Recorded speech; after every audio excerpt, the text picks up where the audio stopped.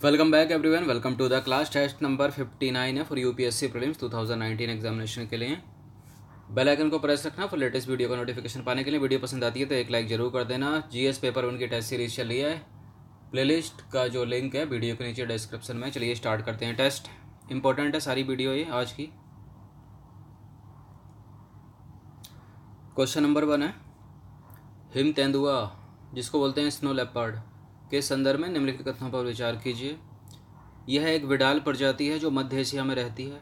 यह भारत के पड़ोसी देशों जैसे पाकिस्तान, अफ़गानिस्तान, नेपाल, भूटान, चीन और म्यांमार में भी पाया जाता है। यह आयुसीएन की लाल सूची में गंभीर रूप से संकटग्रस्त मतलब क्रिटिकली इंडेंजर्ड है। तो देखिए, ये बिडाल प्रजाति है, मध्य एशिया में पाई जाती है करेक्ट स्टेटमेंट है। भारत के पड़ोसी देश पाकिस्तान, अफ़गानिस्तान, नेपाल, भूटान, चीन और म्यांमार में भी यह पाया जाता है। ये क्रिटिकली इंडेंजर्ड नहीं है, देखिए, गंभीर रूप से संकटग्रस्त नहीं है ये। ये खाली इंडेंजर्ड है। तो कौन सा कथन सही हो जाएगा? केवल पहला और दूसरा। तो देखिए हिम तेंदुआ एक बडाल प्रजाति है जो मध्य एशिया में रहती है और ये भारत के पड़ोसी देश जैसे पाकिस्तान, अफ़गानिस्तान, नेपाल, भूटान, चीन और म्यांमार में भी पाया जाता है। इसके अलावा ये कजाकिस्तान में भी मिलेगा आपको, किर्गिस्तान में मिलेगा, उज्बेकिस्तान में मिलेगा, तजाकिस्तान में मिलेगा। और रूस में भी देखने को मिलेगा क्योंकि ये मध्य एशिया की प्रजाति है। यह आईयूसीएन की लाल सूची में इंडेंजर्ड है। देखिए इंडेंजर्ड है, ये क्रिटिकली इंडेंजर्ड नहीं है तो मतलब संकटग्रस्त है, ये गंभीर रूप से संकटग्रस्त नहीं है। क्वेश्चन नंबर टू है, इसका आवास हिमालय और उसके आसपास के क्षेत्र हैं। किसका? इनमें से किसी का? यह नेपाल का या की राष्ट्र पक्षी है। यह उत्तराखंड का राज्य पक्षी है और 2007 तक यह हिमाचल प्रदेश का भी राज्य पक्षी था। यह आई की लाल सूची में लीस्ट कंसर्न है। इसके अंडे देने की अवधि अप्रैल से अगस्त माह के बीच होती है। हिमाचल प्रदेश में इसकी प्रजाति शिकार के कारण घट रही है। उपर्युक्त पंक्तियाँ निम्नलिखित में से किसकी ओर संकेत कर रही हैं? साइबेरियन सारस, हिमालयन वल्चर, हिमालयन मोनल या हिमालयन ताहर बताइए। तो यहाँ पर इसका करेक्ट आंसर हो जाएगा, देखिए, हिमालयन मोनल, क्योंकि उत्तराखंड की राज्य पक्षी है, दो हज़ार सात तक हिमाचल प्रदेश की भी थी, और उत्तराखंड का तो राष्ट्रीय पक्षी है नेपाल का तो ये राष्ट्रीय पक्षी है, भारत के पड़ोसी देश। चलिए क्वेश्चन नंबर थ्री देखते हैं। निम्नलिखित प्रजातियों पर विचार कीजिए। देखिए, पहला है, इनको इंग्लिश में पढ़ो। The great Indian bustard Indian vulture, red headed vulture, Himalayan wolf और हिमालयन ताहर। भारत में पाई जाने वाली उपरोक्त प्रजातियों में से कौन गंभीर रूप से संकटग्रस्त है? मतलब क्रिटिकली इंडेंजर्ड हैं। देखिए मोस्ट इम्पोर्टेंट हैं, जितने भी एनिमल्स हैं यूपीएससी के फेवरेट हैं और बहुत पूछे जाते हैं। चलिए बताइए इसका आंसर देखिए the great Indian bustard critically endangered है। इंडियन वल्चर भी क्रिटिकली इंडेंजर्ड है। रेड हेडेड वल्चर भी क्रिटिकली इंडेंजर्ड है। हिमालयन वोल्फ भी क्रिटिकली इंडेंजर्ड है। लेकिन हिमालयन ताहर पढ़ा चुका हूँ पहले। ये क्रिटिकल इंडेंजर्ड नहीं है, ये केवल इंडेंजर्ड है। तो पाँचवा काट दो। जिस, जिसमें पाँच नंबर ऑप्शन है, उसको हटा दो। तो ये तो हो नहीं सकता। और अब पहले तो चारों के चारों जो हैं, वो क्रिटिकली इंडेंजर्ड हैं सी आर हैं। तो कौन सा हो जाएगा? वन टू थ्री और फोर हो जाएगा। देखिए द ग्रेट इंडियन वस्टर्ड को तो ग्रेट इंडियन वस्टर्ड ही बोलते हैं। इंडियन वल्चर मतलब भारतीय गिद्ध और रेड हेडेड वल्चर मतलब लाल सर वाला गिद्ध। हिमालयन वोल्फ हिमालय का भेड़िया और हिमालयन ताहर तो दो तीन बार से क्वेश्चन करा ही रहे हैं। पता ही होगा, दिखा भी दी होगी इमेज में कैसी है।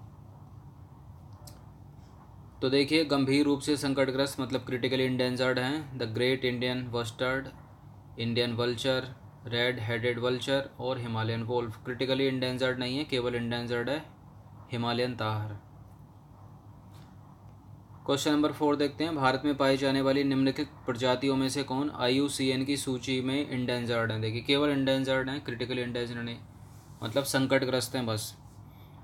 Red panda olive ridley turtles blue whale dhole lion tailed macaque और इंडियन एलिफेंट लाल पंडा ऑलिव रिडली कछुए नीली वेल और ढोल और लाल आ, से सिंह पुछी मकाक बानर और इंडियन भारतीय हाथी. नीचे दिए गए कूट का प्रयोग कर सही उत्तर चुनिए. तो देखिए अगर पिछला टेस्ट किसी ने अच्छे से लगाया होगा तो इस प्रश्न को कर ले जाएगा. देखिए ओलिव रिडली टर्टल जो हैं, वो वुलनरेबल हैं। मतलब इंडेंजर्ड से जो पहले आता है, वो हैं वुलनरेबल तो इसको हटा दो, देखिए, जिस इसमें दो होगा, उसको काट दो एलिमिनेट कर दो तो आंसर निकल ही आना है। तो आंसर हो जाएगा डी रेड पांडा इंडेंजर्ड है ब्लू वेल इंडेंजर्ड है, ढोल भी इंडेंजर्ड है लायन टिल्ड मकाक इंडेंजर्ड है इंडियन एलिफेंट भी इंडेंजर्ड है। इसके साथ साथ नीलगिरी ताहर भी इंडेंजर्ड है। तो एक, तीन, चार, पाँच और छः। तो ये है देखिए olive ridley turtle olive ridley कछुआ। ये देखिए, ये लिस्ट आपको याद रखनी है। सबसे पहले आता है लीस्ट कंसर्न, उसके बाद एंटी, फिर वुलनरेबल, फिर ई एन मतलब इंडेंजर्ड, फिर सी आर क्रिटिकली इंडेंजर्ड, अंत में आता है एक्सटेंट ये बढ़ते हुए क्रम में और इसको घटते हुए क्रम में दोनों से याद रखिए, क्योंकि यूपीएससी इस तरह के प्रश्न पूछ लेती है। तो ये वुलनरेबल है ओलिव रिडली कछुआ। अगला प्रश्न है, यदि आप हिमालय और उसके आसपास के क्षेत्रों का भ्रमण करें तो आपको निम्नलिखित में से जीवों की कौन सी प्रजातियाँ वहाँ देखने को मिलेंगी? Domestic yak, bharal, clouded leopard, alpine musk deer इनको अंग्रेज़ी में पढ़ो इनके नाम। तो डोमेस्टिक याक मतलब वहाँ का स्थायी याक, भरल, क्लाउडेड लेपर्ड और अल्पाइन मास्क डियर तो देखिए ये सारी की सारी जो प्रजातियाँ हैं डोमेस्टिक याक हो गया, भरल हो गया क्लाउडेड लेपर्ड हो गया और अल्पाइन मस्क डियर ये सारी की सारी हिमालय क्षेत्र में पाई जाती हैं। अगर आप वहाँ उनका भ्रमण करोगे तो। One two three four answer हो जाएगा इसका। तो देखिए, यदि आप हिमालय और उसके आसपास के क्षेत्रों की यात्रा करोगे तो आपको निम्नलिखित सभी प्रजातियाँ वहाँ देखने को मिलेगी। यह है, देखिए क्लाउडेड ये है डोमेस्टिक याक ये है डोमेस्टिक याक यह है अल्पाइन मस्क डियर ये है क्लाउडेड लेपर्ड और यह है भरल। क्या है भरल? उसकी तरह होता है नीलगिरी ताहर की तरह। तो अच्छे से इनको देख लीजिए। डोमेस्टिक याक, भरल, clouded leopard, alpine musk deer तो सारे के सारे यहाँ पर हिमालय क्षेत्र में, उसके आसपास के क्षेत्र में देखने को मिलेंगे। तो यूपीएससी के फेवरेट हैं। क्वेश्चन नंबर सिक्स है। यह मध्यम आकार का समुद्री स्तनधारी प्राणी है, जो विश्व के कई भागों में समुद्री तटीय क्षेत्रों में, क्षेत्रों के जल में पाया जाता है। इसका हज़ारों वर्षों से तेल और मांस के लिए शिकार किया जाता रहा है। यह एक लंबी आयु का प्राणी है, जिसका औसतन जीवन काल सत्तर वर्षों तक होता है। अच्छे से पढ़ना है एक इसके प्रजनन की गति धीमी है और इसकी संख्या धीरे धीरे बढ़ती है। ये बढ़ती है। प्रजनन की गति धीमी है और संख्या धीरे धीरे बढ़ती है। इन कारणों से इनका संरक्षण आवश्यक हो गया है और एक असुरक्षित जाति यह घोषित कर दी गई है। इसको असुरक्षित घोषित कर दिया गया है। कई स्थानों पर इन्हें सुरक्षित रखने के लिए प्रयास किए जा रहे हैं। इस कुल की यह इकलौती जीवित जाति बची है। इस कुल में था एक स्लेटर। स्लेटर समुद्री गाय थी। स्लेटर समुद्री गाय। Steller sea of cow. Steller sea cow. नामक एक अन्य जाति भी थी, लेकिन उसका इतना शिकार करा गया कि वह अठारहवीं शताब्दी में ही लुप्त हो गई। यह कौन है, बताइए, किसकी बात हो रही है? खराई ऊँट, ब्लू व्हेल, भारतीय गोह या डुगोंग? देखिए, पूरा परिच्छेद को पढ़ने के बाद ये निष्कर्ष निकाला जा सकता है कि ये डुगोंग की बात हो रही है। डुगोंग की बात हो रही है क्योंकि इसकी एक और प्रजाति जो विलुप्त हो गई अठारहवीं शताब्दी में, वो थी स्लेटर समुद्री गाय।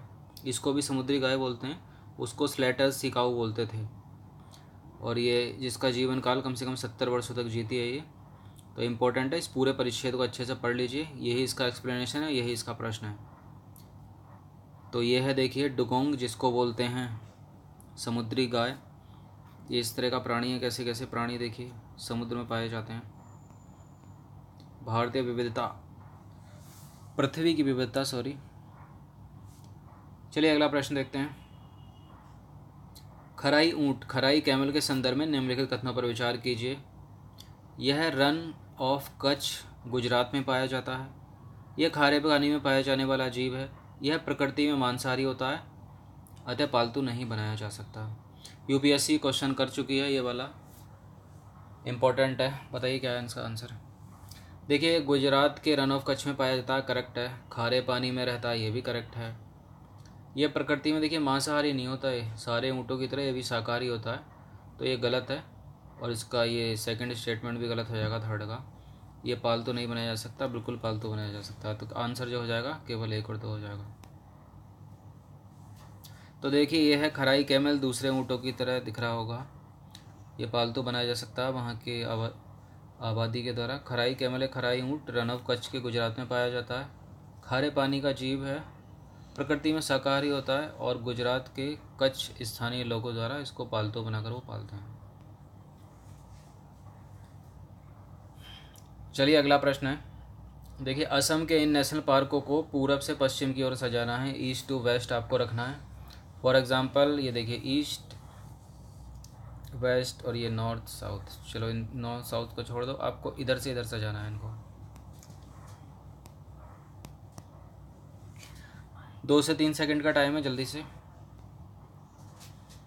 तो देखिए, सबसे पहले आएगा इनमें से ईस्ट टू वेस्ट लेना है ना।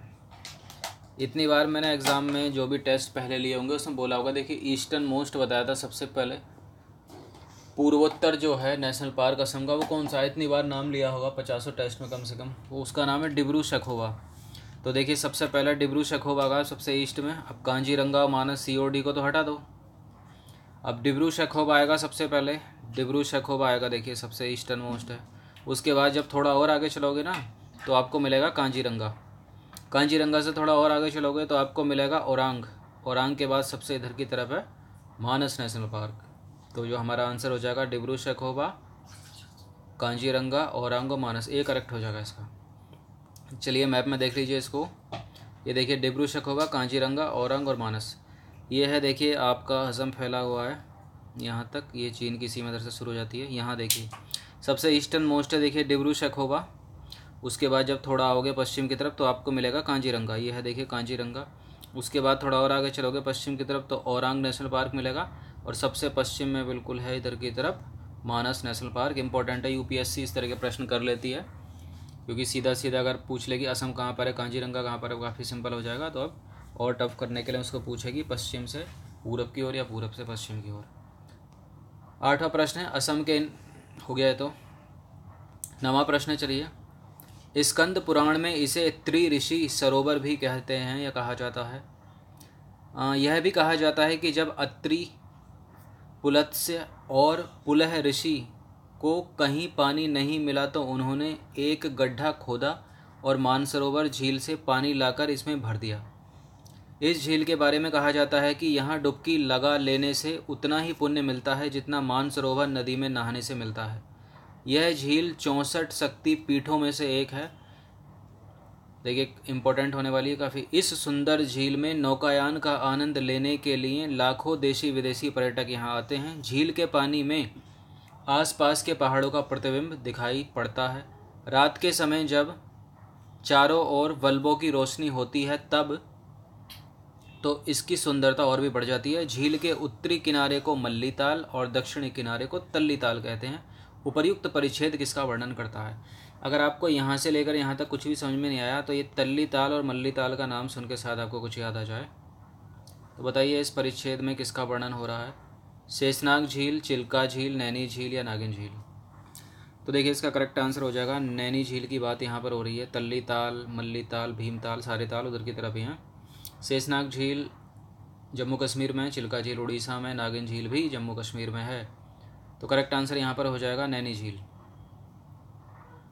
तो देखिए, नैनी झील, ये नैनीताल डिस्ट्रिक्ट में है, जो उत्तराखंड में स्थित है। इस तरह से दिखाई देती है, काफ़ी अच्छी और रात में यहाँ पर जो देखिए जब लाइटिंग होती है तो ये इसका जो रिफ्लेक्शन है यहाँ पड़ता है तो और सुंदर ये दिखाई देती है। चलिए अगला प्रश्न देखते हैं। निम्नलिखित युग्मों में से कौन सा सही सुमेलित है? कोलेरू, आंध्र प्रदेश, झील है ये, और नल सरोवर, हिमाचल प्रदेश, रेणुका, गुजरात। नीचे दिए गए कूट का प्रयोग करके सही उत्तर चुनिए। तो इनमें कौन कौन सही सुमित है सही सुमेलित है। देखिए, कोलेरू तो आंध्र प्रदेश में करेक्ट है। देखिए, जो नल सरोवर है ना, नल सरोवर या नाल सरोवर, वो गुजरात में है और रेणुका हिमाचल प्रदेश में है। रेणुका एक आर्टिफिशियल लेक है। तो ये दूसरा और तीसरा इनकरेक्ट हो जाएगा यूपीएससी क्वेश्चन कर चुकी है रेणुका का। तो देखिए तो ये भी नहीं हो सकता, ये भी नहीं हो सकता, ये भी नहीं हो सकता। केवल एक करेक्ट हो जाएगा इसमें। तो देखिए, कोलूरे, कोलेरू जो है, जो आंध्र प्रदेश में है और नल सरोवर गुजरात में रेणुका हिमाचल प्रदेश में। तो दस के दस प्रश्न इंपॉर्टेंट हैं। रिवीजन इनका अच्छे से कर लीजिए। वीडियो के, सारी वीडियो का लिंक प्लेलिस्ट बनाकर नीचे डिस्क्रिप्शन में दे रखा है, उसको विज़िट कर लो।